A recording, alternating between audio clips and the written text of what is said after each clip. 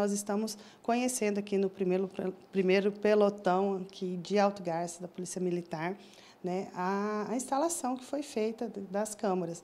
Nós recebemos 35 câmaras do programa Vigia Mais MT através do governo do Estado e a Prefeitura fez a instalação da mesma. Né? Então, é uma parceria governo do Estado com o município de Alto Garças, através da Secretaria de Administração, que fez todo o processo para a instalação das mesmas.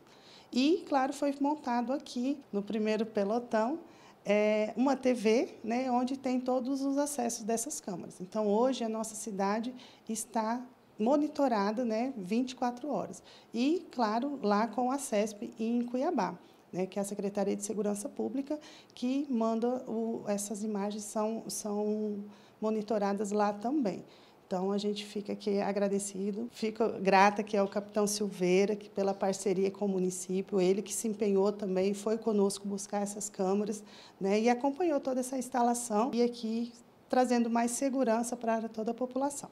E será instalada em todos os bairros do município? Elas já estão instaladas em pontos estratégicos, né, nas saídas e alguns, alguns pontos estratégicos do município também, né, após agora a conclusão desse, que vira um convênio né, com o município, já solicitamos, já ganhamos mais 11 câmaras, né, que também agora está sendo finalizado a parte de burocrática de documentação e logo teremos mais 11 câmaras. Então, Alto Garças ficará aí com 46 câmaras instaladas dentro aqui do município de Alto Garças.